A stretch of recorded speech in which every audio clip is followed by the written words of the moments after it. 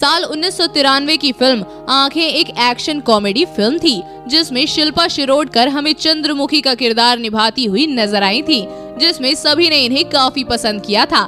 साथ ही इस फ़िल्म के बाद भी ये हमें काफ़ी फ़िल्मों में नज़र आई, जो हिट भी रही और जिन्हें दर्शकों ने बहुत पसंद किया है।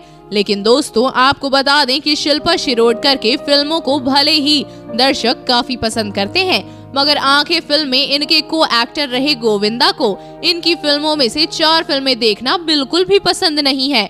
यहाँ तक कि गोविंदा तो उन चार फ़िल्मों से बेहद नफरत करते हैं। तो चलिए जानते हैं शिल्पा शिरोडकर की उन चार फ़िल्मों के बारे में, जिनसे गोविंदा बेहद नफरत करते हैं। नंबर एक पर है खुदा गवाह।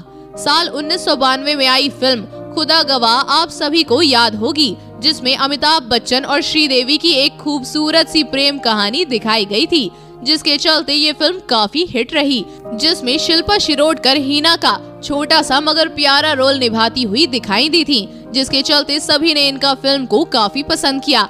मगर ये फ़िल्म गोविंदा को बिल्कुल भी पसंद नहीं आई, क्योंकि इस फ़िल्म में उन्हें लगा कि शिल्पा की कोई ज़रूरत नहीं थी। उन्हें इतना छोटा रोल क्यों दिया गया? उन्हें एक बड़ा रोल देना चाहिए था। नंबर दो पर है किशन कन्हैया।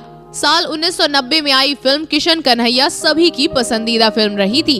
मगर ये फ़िल्म शिल्पा शिरोडकर के को एक्टर रहे गोविंदा को पसंद नहीं आई, क्योंकि ये फ़िल्म ओरिजिनल फ़िल्म नहीं थी, बल्कि दो तीन फ़िल्मों की रीमेक थी, जिसके चलते गोविंदा ऐसी नकली फ़िल्मों को देखना पसंद नहीं करते हैं, जिसकी कहानी कई बार रिपीट हो चुकी हो। नंबर तीन पर है गोपी किशन।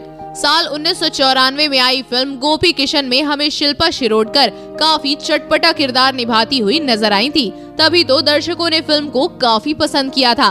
मगर ये फ़िल्म शिल्पा के को एक्टर रहे अभिनेता गोविंदा को पसंद नहीं आई, क्योंकि इस फ़िल्म में शिल्पा शिरोडकर ने काफ़ी लालची औरत का किरदार निभाया था और इस फ़िल्म की स्टोरी भी बिल्कुल बकवास थी, जिसके चलते गोविंदा को ये फ़िल्म पसंद नहीं आई।